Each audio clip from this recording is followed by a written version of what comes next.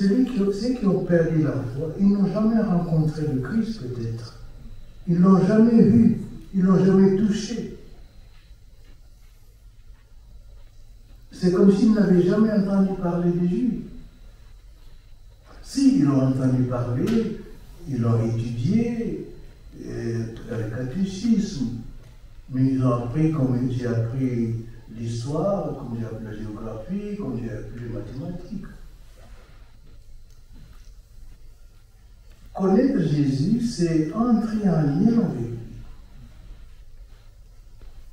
C'est de rencontrer et qu'il nous, renverse, qu'il nous renverse. Et qu'il nous dise, mais Pierre, pourquoi, Paul, pourquoi me persécutes-tu? Qui es-tu? Et nous lui demande, mais qui es-tu Seigneur? Qui es-tu? Qu'est-ce que tu veux que je fasse? Même nous prêtres, même nous prêtres, nous pouvons faire uniquement de la fonction sacerdotale. Mais on n'a jamais rencontré le Christ. C'est ça le danger. On n'a jamais rencontré le Christ. On ne sait pas qui il est. Il n'est pas vital pour nous. Donc je pense, c'est vrai que euh, ceux qui n'ont jamais connu le Christ, bien sûr, il y a une méthode, il y a une manière de parler du Christ. Comme un Européen qui a déjà entendu parler du Christ, mais qui, ne l'a pas rencontré. La méthode, c'est sûr, peut changer, mais le contenu, mais l'objectif de faire rencontrer la personne avec le Christ ne change pas, à mon avis. Et la difficulté est autant ici qu'en Afrique. Parce que l'Afrique peut, donner l'impression qu'elle est une église vivante, parce qu'on danse, parce que tout le monde participe. Mais ça peut être superficiel. L'inculturation, ce n'est pas du tout mettre du vernis africain ou asiatique sur le contenu chrétien.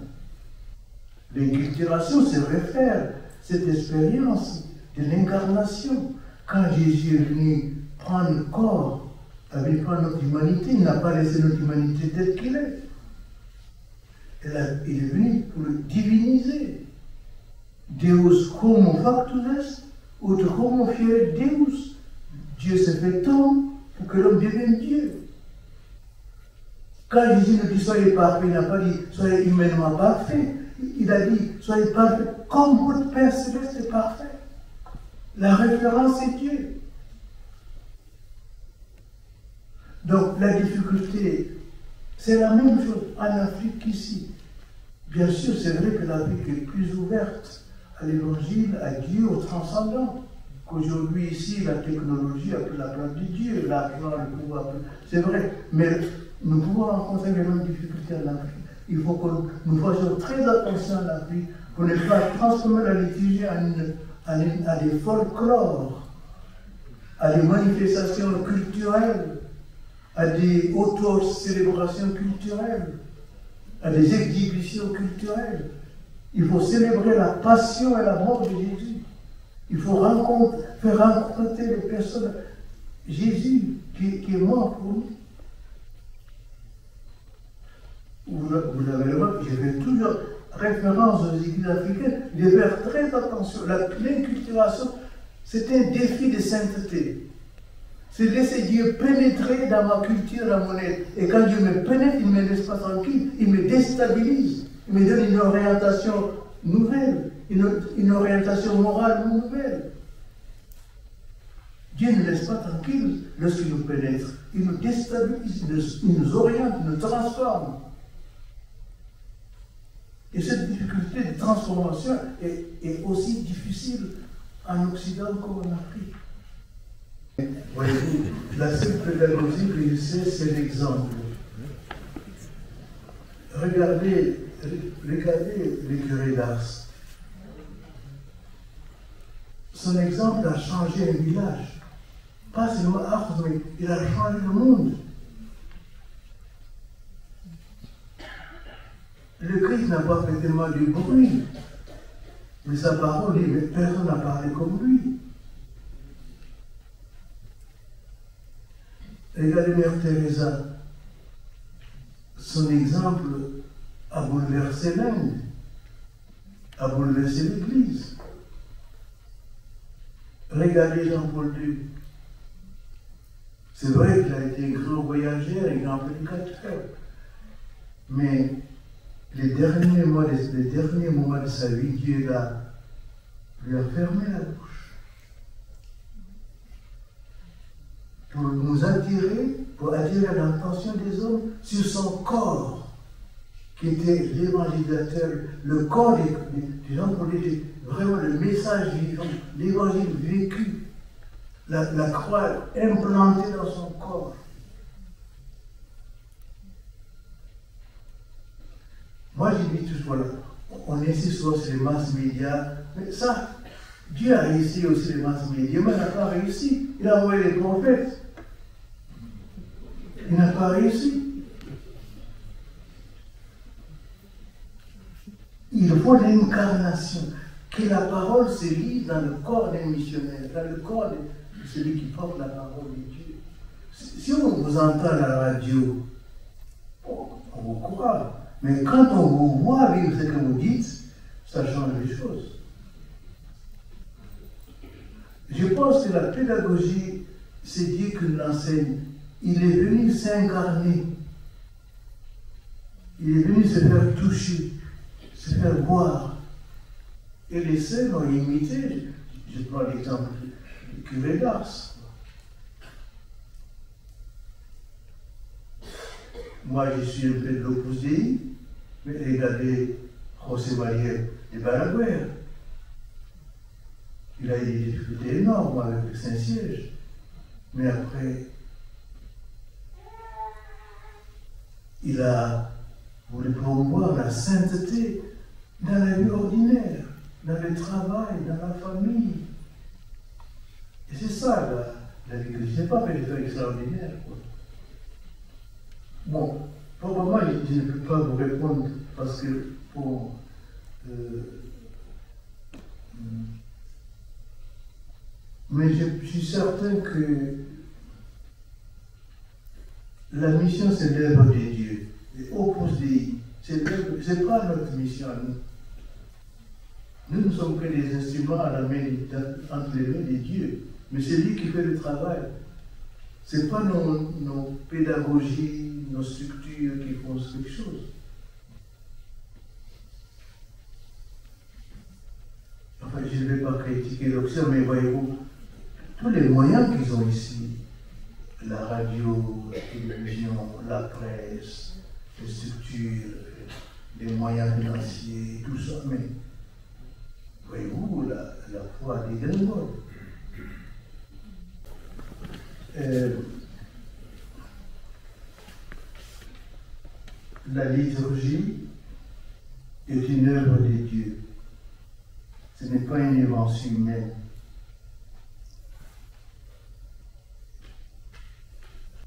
C'est Dieu qui a de la liturgie. Bien sûr, il passe par nous pour élaborer la liturgie, les rites, mais c'est une logique. C'est lui qui dit comment nous devons l'adorer, comment nous devons le prier. moi aussi, je suis très loin d'être seul. Mais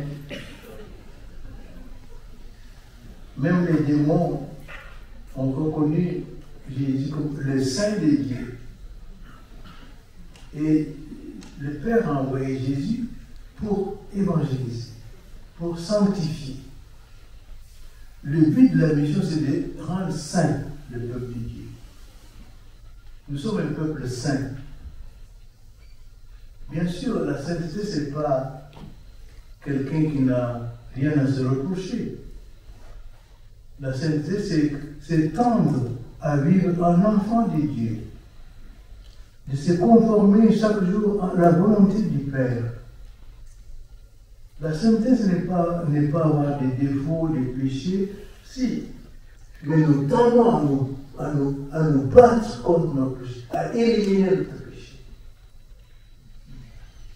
C'est notre tâche, c'est notre vocation. L'appel à la sainteté, c'est un appel de Dieu. Il dit, soyez saints Parce que moi, votre Dieu, je suis saint. La mission consiste à faire des saints.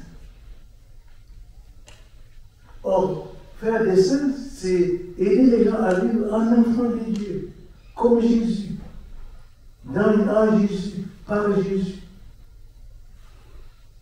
Et c'est un travail de longue haleine, c'est un enfantement douloureux qui prend des, des, années. C'est pourquoi, symbolique. J'ai fait pour que vous soyez, que, le, Christ soit formé en vous. La mission, c'est que le Christ soit formé en chacun de nous. Que nous soyons, que ce, ne soyons plus nous qui vivions, que c'est le Christ qui vive en nous. Quand on voit un chrétien, qu'on voit le Christ. D'ailleurs, Jean-Paul le dit dans Millénaire, il est noté, je ne sais pas comment traduire en français le texte. Il dit quand le prêtre demande à un catéchumène Veux-tu recevoir le baptême? C'est comme s'il lui disait Veux-tu être saint? Recevoir le baptême, c'est devenir saint. C'est-à-dire vivre en enfant de Dieu. Vivre en conformité à la volonté de Dieu. Se conformer à la volonté de Dieu. Et cette volonté, nous pouvons la perdre comme l'enfant prodigue. Il dit, moi, je suis indépendant, je vais dans mon état, je vais aller, moi, je suis autonome. Mais le Père, il guette l'horizon, il dit, quand est-ce que mon fils reviendra? Et il va courir au devant de qui va venir. Donc, bien sûr, il ne faut pas attendre d'être canonisé pour faire la mission. Mais personne de nous ne va faire ça. Mais nous devons travailler chaque jour à être saints. Et nous avons les moyens, ce sont les sacrements. Or, nous avons négligé totalement les sacrements aujourd'hui. Mon, prochain livre, c'est Catéchisme sur la vie spirituelle. Et j'ai fait une réflexion sur tous les sacrements. Qu'est-ce que c'est que le baptême? La confirmation, l'Eucharistie, le sacerdoce, le mariage, la confession, l'onction des malades. Ce sont des domaines, ce sont, des, ce sont des, instruments que Dieu nous donne pour avancer dans la sainteté. Nous devons prendre au sérieux ces dons précieux de qui sont ce sacrement. Et ce sont les moyens de notre sainteté. Nous avons la chance, nous les chrétiens, d'avoir tout pour devenir des saints. Ce sont les sacrements. Mais il faut, faut qu'on les célèbre différemment qu'on le fait maintenant. Uniquement. Je ne sais pas, il faut qu'on améliore la, liturgie. Benoît s'est dit la crise aujourd'hui de l'Église, c'est une crise liturgique. Parce qu'il y a un adage de latin qui dit lex orandi, lex credendi. La manière de prier est la manière de croire. Comme la manière de croire est la manière de prier. Si nous abîmons la liturgie, nous abîmons notre foi. Or, la liturgie, et se célèbre dans les sacrements. Pour moi, je, pense que c'est un de mes livres où j'ai vraiment travaillé pendant, pendant deux ans, surtout pendant le Covid, parce que je pense que c'est un, élément qui va aider à redécouvrir le baptême. Quand on dit vous baptise au nom du Père et du Fils et du Saint-Esprit, ça veut dire qu'on est plongé en Dieu dans la Trinité. On, nous plonge dans la vie de la Trinité. On veut, veut qu'on vive comme la Trinité vit. On veut nous faire partager la, nature divine de, Dieu. Nous devenons des dieux. Bien sûr, mais vous exagérez, parce que c'est ça qui a commis le péché originel. Mais Nous ne faisons pas nous des dieux, mais nous nous faisons faire par Dieu. C'est Dieu qui fait de nous des dieux, par les sacrements. Donc, il ne faut pas attendre. Hein? Soyez missionnaires par votre vie pleinement chrétienne.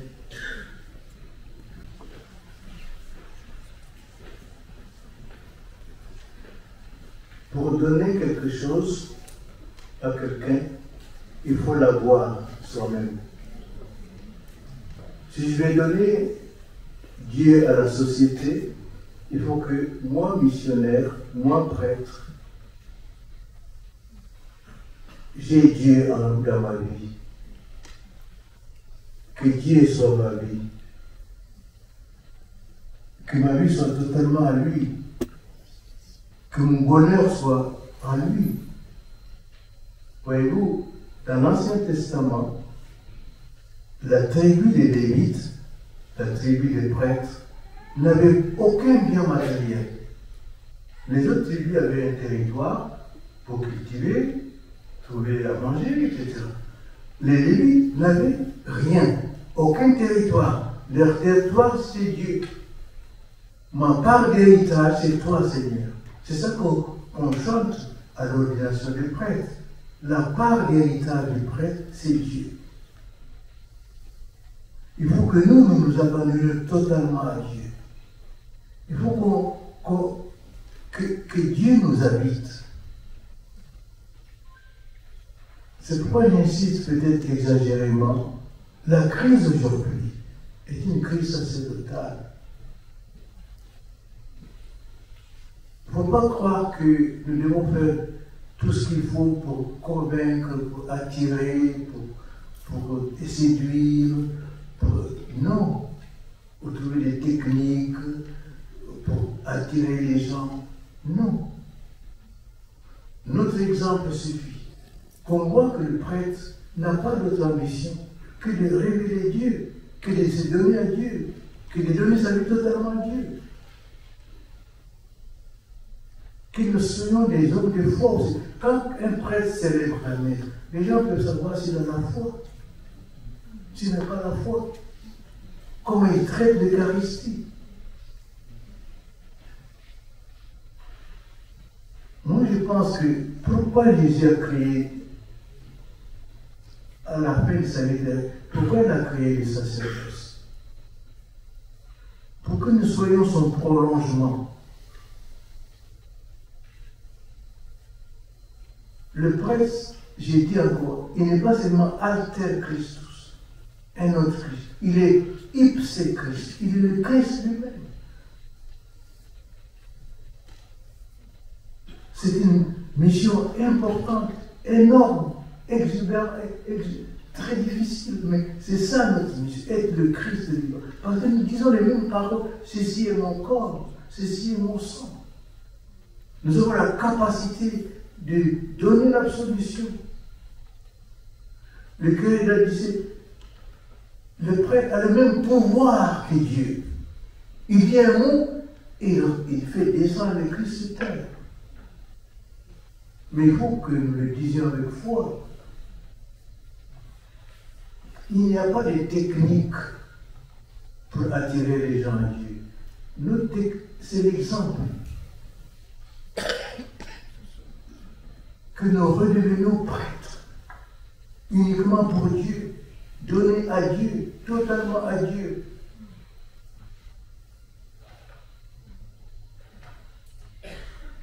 Que nous ayons que nous soyons la, le porte-parole de Dieu, que nous ne disions pas des choses selon nos convictions à nous, nos opinions à nous, notre idéologie à nous. On n'est pas là pour enseigner, enseigner ce que moi je pense, mais ce que Dieu m'a envoyé dire. Nous sommes des messagers. Que les gens écoutent ou n'écoutent pas, dites-leur. C'est ça qui est dit dans les, prophètes.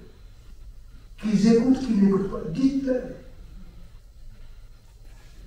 Jésus n'a pas réussi totalement à dire son évangile à son peuple. Mais n'a pas trouvé de technique.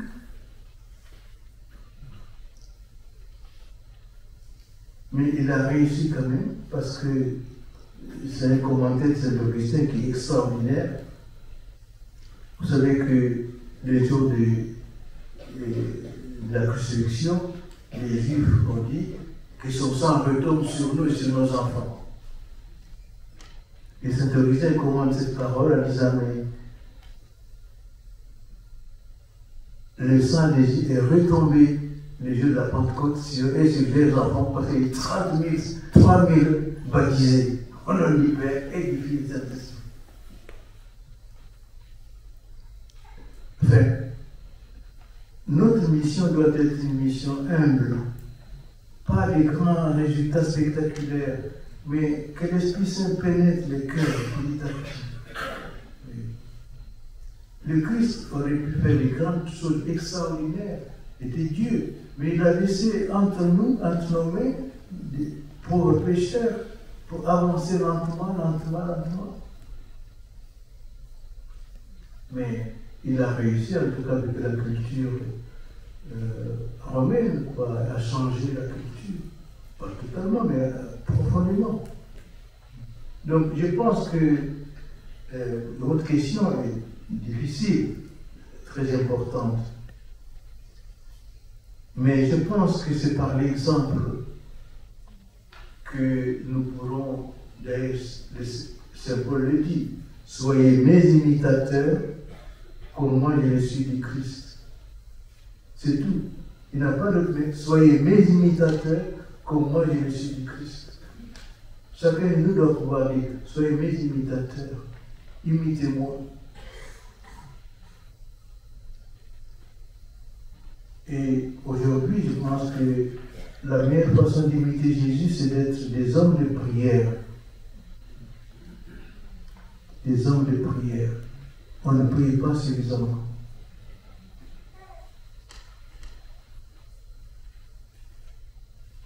Des hommes de prière. Nous sommes des hommes eucharistiques, des hommes qui adorent, qui passent du temps devant, devant le Saint-Sacrement. Un jour, un prêtre demandait à Mère Teresa, euh, voilà, je viens d'être prêtre, priez pour moi.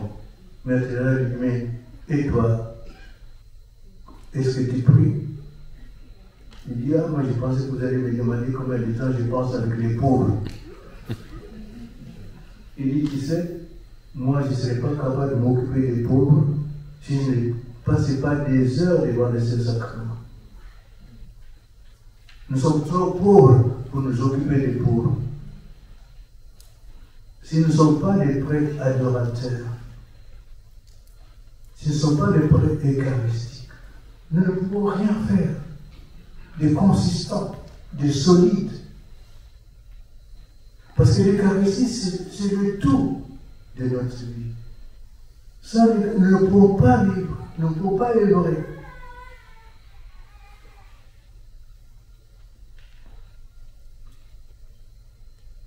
Homme de prière, homme eucharistique.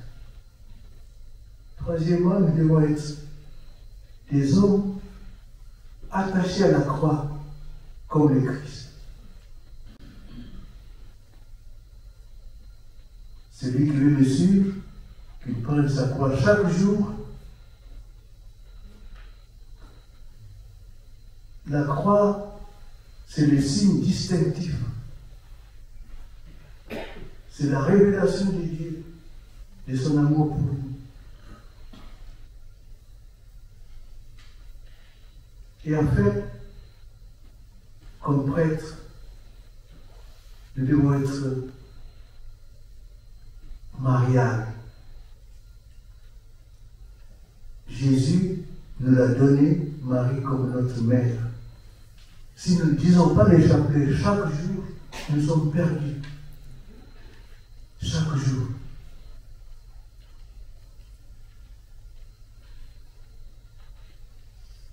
Dans mon devise, euh, j'ai trois mots.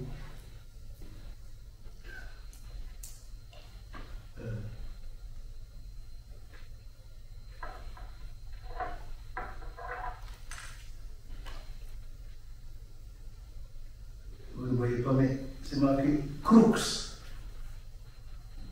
hostia et virgo. La croix, l'hostie et la Vierge. Tout chrétien doit planter sur ces trois piliers sa vie chrétienne. La croix, crux, hostia, l'hostie, l'Eucharistie, et Virgo. Tout homme a besoin d'une maman.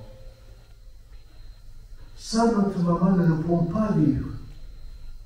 Jésus le savait, il nous a donné, voici ton fils, voici ta mère.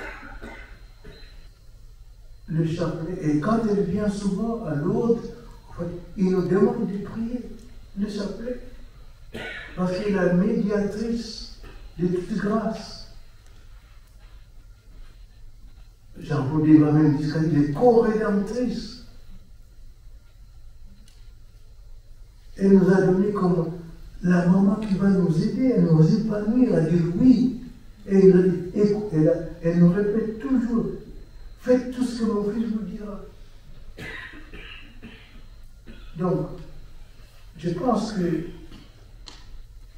je voudrais vous laisser comme ça, vous recommander à, planter votre vie sur ces trois piliers crux, hostia et vélo. La croix, l'Eucharistie et la Vierge.